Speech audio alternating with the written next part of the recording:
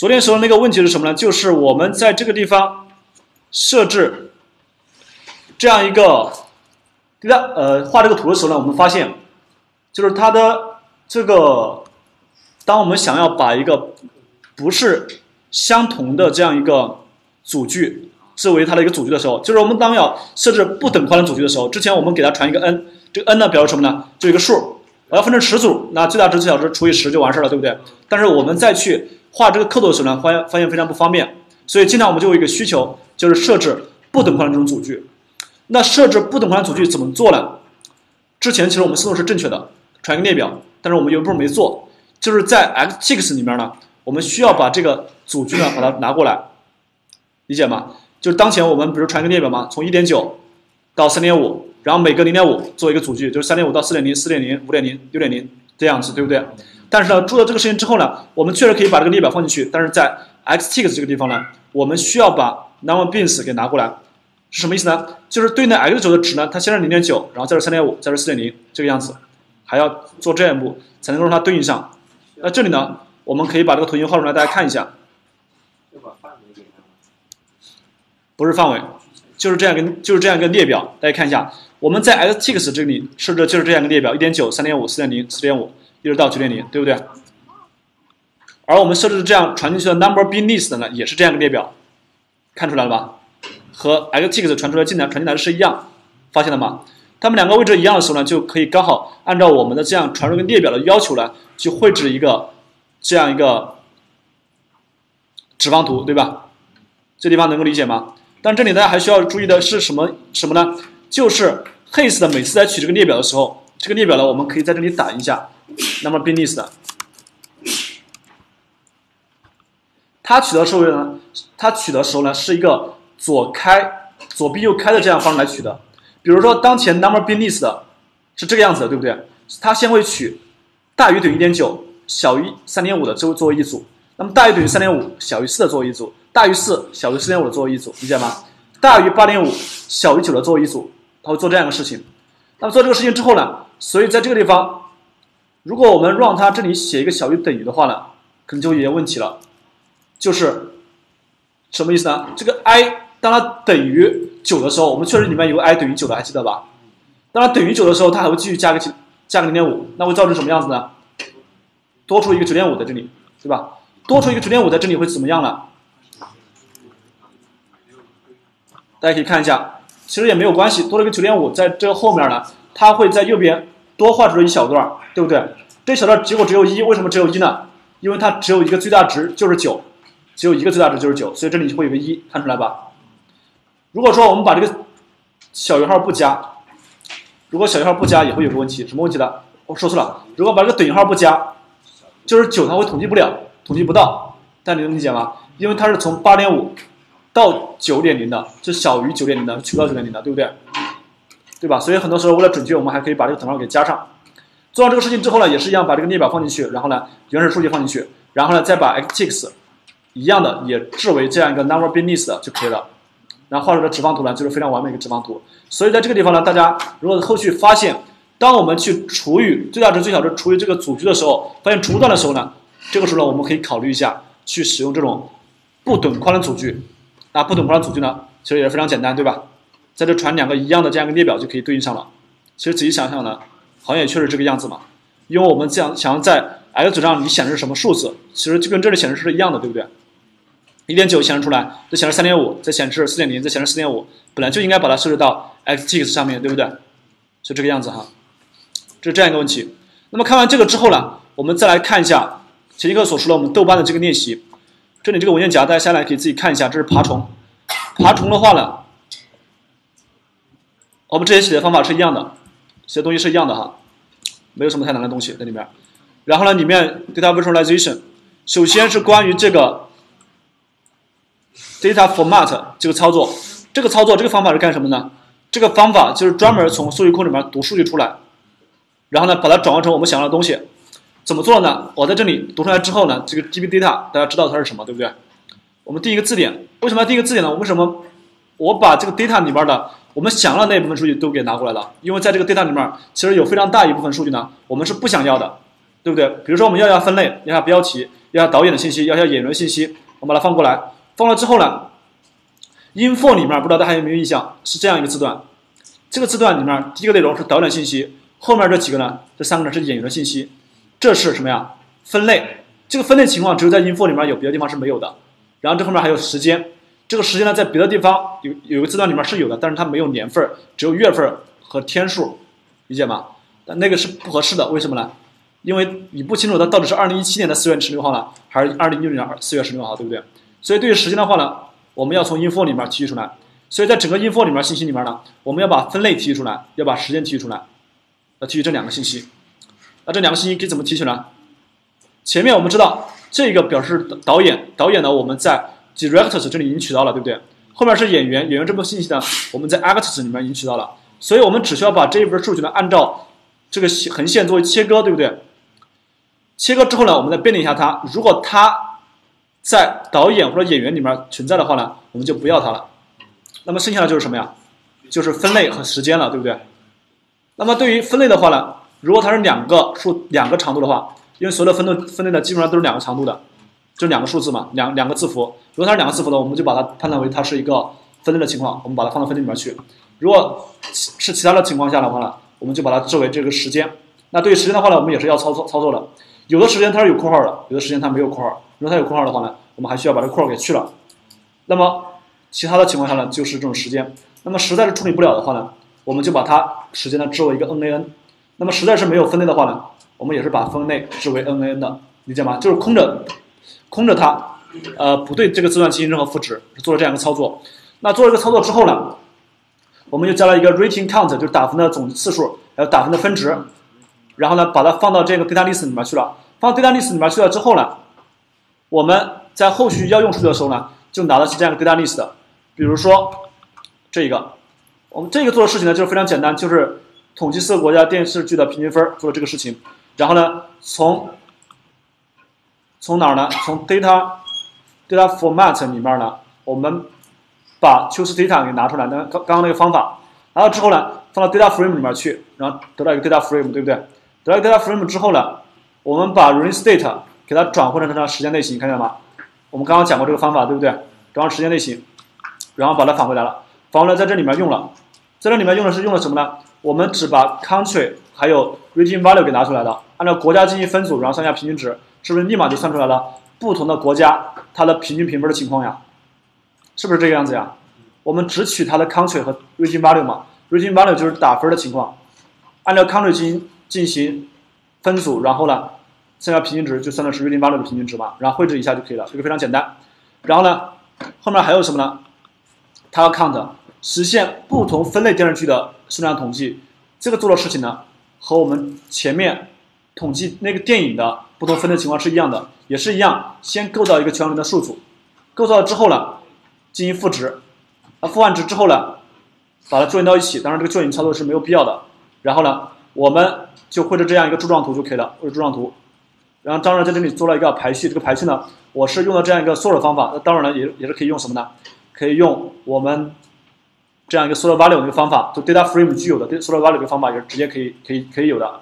然后这个地方呢，我们就把这个图形给绘制出来了。绘制出来之后呢，绘制了一次，就绘制了一个横折条形图。啊，形图形呢，就是刚刚我们看到的这个样子的。这个方法呢，应该是非常简单，大家应该都会哈。那么之后呢，我们又画了这样一个图形，七分以上电视剧随时间的分布的这样一个散点图。那首先这个也是一样的。我们把数据拿过来之后呢，这个事情我们做了这样一个事情，做了什么事情呢？就是加了在当前那个 data frame 里面呢，我们新创建的一个权威一的这一列。为什么要创建一个权威权威一的这样一个列呢？我们后续呢，对时间分布这个地方呢，我们统计出什么呢？统计出，比如说，我们先把这个 release date 里面不为 NaN 的取出来，相当于做了一下这个呃缺失值的处理，对不对？缺失处理之后呢，我们取其中的比这个我们要选择的分要大的那分。比如说，我们要选择这个 rating 是七，大于七分的电视剧，那我们这个方式就可以取到了，对不对？布尔索引就可以取到了。把它设置成索引，把它设置成我们的 release data 之后呢，设置成我们的索引之后呢，我们只取刚刚所具的全无一的那一列数组，然后呢，我们对它求和。为什么要这样这样做呢？我们先 resample 五个月，哎哎，五 m 就是五个月这样一个降采样，对不对？降采样之后求和，为什么要这样做呢？因为这个地方它全为一，对不对？全为一之后呢，我们做进行一下这个 sum 的操作，是不是刚好就是统计的是五个月里面每每五个月它们具有的这个电池的数量呀？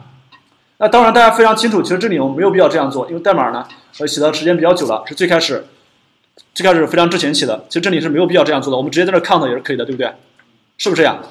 直接在这里 count 也是可以的，在这里呢，我们在这个 data frame 呢添添加了一列，这一列的值呢全部是一。然后呢，专门把这一列取出来，然后对它进行按照五个月进行求和，这个操作和我们之前所说的 count 这个操作是一样的。当然了，这个操作目前来讲，好好好像看起来非常鸡肋，对吧？确实是非常鸡肋的。然后呢，我们直接 count 就可以了。那 count 之后呢，我们把它画出来，就是后面画画这个图形的话呢，就画一个散点图，应该是非常简单的，没有什么太难的东西。画个散点图，就这个地方。那么这七个地方呢，这四个图形呢，我们做的事情是什么呢？就是七分以上电视剧随时间的变化的情况，七分以上的电视剧随时间的变化情况。这个里边呢，我们还有一个东西，这个是不同国家的电视剧，应该把这写清楚一下。国家，首先大家可以看出来，这里有个分组，对不对？按照国家进行分组，不同国家的七分以上电视剧的变化情况，所以我们要绘制四次，对不对？在这里面呢。其实绘制和我们之前绘制是一样的。我们在这里个地方大家看一下，group by 之后呢，进行一下这个操作，country 还有 group 的，对不对？这个每个是每个国家嘛，对不对？我们刚刚不是也做过这个事情嘛，对不对？绘制四次就好了。那比如有五个国家，那绘制五次嘛？有三个国家绘制三次。这个事情非常简单，但是中间有个地方需要特别注意是什么呢？就是这个是当前这个地方数据比较少。我们刚刚在 PM 二点五那个地方的数据是非常非常多的。当前我们这个地方数据比较少，会带来一个什么样的情况呢？就是如果说我们去直接按照把 release date 作为它索引之后呢，我们取到具体某个国家，比如取到中国，这可能里面有三三十个，或者说有五十条数据，这五条数据呢分别是五十个不同时间段的不同时间点的数据。那么取到英国之后，英国呢可能有七十条数据，这七十条数据呢可能也是。七十个不同时间点的数据，这两个时间点它们可能是，并不一定是完全吻合的，大家理解吗？是什么意思吗？就是中国，比如说中国在一九七三年有部电视剧，但在美国那个地方呢，一九七三年是没有电视剧的。那当我们去把这个图形绘制出来的时候呢，中国如果是 S 九按照中国来绘，那绘出来一九七三年那个地方确实有部电视剧，但在美国那个地方呢，它可能就数据会有一些偏移。能理解是什么意思吗？就是两个数据它时间并不是完全吻合的，就有一部分时间是 A B C D 这时这个这个时间，比如中国数据电视剧的时间呢是 A B C D 这个时间段这个时间点的，但是美国数据呢是 D F 这个时间点的。你一个 A B C D 的时间点绘制到图形上面，跟一个 D F 的时间点绘制到图形上面，当我们在绘制这个 X T X 的时候呢，或者说绘制这个 X 轴的时候呢，你觉得应该把什么作为 X 轴比较合适一些呢？应该把什么作为 X 轴可能会更合适一些啊？是不是整体的时间做 X 轴可能更合适一些啊？那么中间没有你就空着吧，中间没有就空着，而不能应该去按照具体某一个国家来进行这样一个 X 轴的选择绘制，对不对？所以说在这个地方呢，在这个地方，我生我按照这个 data frame 里面的 release date 的最大值和最小值生成了这样一个时间范围 data range 这样一个时间范围，生成这样时间范围之后呢，我们就做了把它作为 data period，然后呢，在后面的每个 group 里面呢。都把它 data period 给添加进去了，那这个时候呢，大家可以想一下，是不是所有的时间点是不是都有了呀？是不是所有时间点都有了？所有时间点都有了之后呢，我把它 release date 呢，作为了这样一个做了这样一个索引，然后启动里面的 release date 和 count 这个字段，然后呢，进行一下 fail na 这个操作。为什么要 fail na 呢？因为比如说就拿中国数据来说，中国数据里面肯定毫无疑问有很多时间点是空着的。任何一个国家都有很多很多时间点是空着的，因为它电视剧的数量不够嘛，对不对？可能某一年或者某些年数据就没有，所以我把它 fill na 为零，fill na 为零之后呢，然后重新去调整一下，调整为三个月，三个月统计一下数据，然后 sum 一下。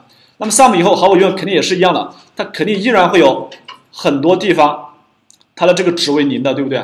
但是我们当前绘的是这样一个折线图。那为零就为零嘛，它值下降下去了，对不对？下到零那个地方了嘛。所以说呢，我们是可以做这个事情的。当然，绘制散点图也是可以的，只是绘制散点图的时候呢，可能我们会有五个颜色的点，但是这个效果呢，我们之前也之前也试了一下，就是效果不是特别明显。那么绘制直线图的时候呢，效果呢就是这个这个样子的，相对来说还是能够大概看清楚的，对不对？那这就是这个图形里面需要特别注意的，就是当我们数据量比较小的时候，特别是当我们把时间周围做做这个索引的时候呢，我们要保证每一个分组之后的数据里面，这对应的时间点都是有的。就是它数据数据没有，数据是零也没有关系，但时间点必须得有，否则的话呢，在我们把这四个图形绘制到一起的时候呢，可能它们之间的是没有任何关系的，它们可能都对应不到同一个 x 轴上面去，对不对？所以在中间呢，我做了这样一个操作，就是。